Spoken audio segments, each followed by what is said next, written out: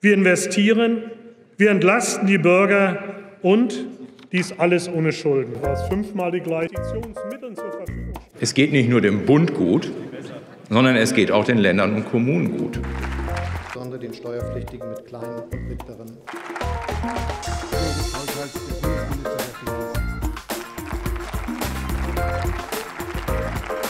Schwarze Null ist eine Frage der Generationengerechtigkeit. Es geht nicht an, dass wir die zukünftigen Generationen, die in 20 oder 30 Jahren noch ganz andere Aufgaben zu bewältigen haben, heute mit unseren Schulden belasten.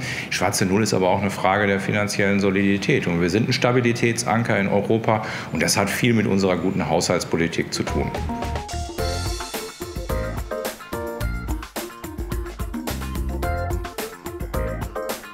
Also die Kunst des guten Haushaltes ist es, eine Balance zu schaffen zwischen Investitionen auf der einen Seite, Sozialaufgaben auf der anderen Seite. Es geht auch um sozialen Zusammenhalt in unserer Gesellschaft. Es nützt niemandem was, wenn wir gute Straßen, gute digitale Infrastruktur haben, aber die Gesellschaft auseinanderbricht. Und natürlich ist es auch so, dass wir die Bürgerinnen und Bürger entlasten wollen. Und das alles zusammenzubringen, das ist die Aufgabe, die wir in den nächsten Wochen mit den Haushaltsberatungen haben.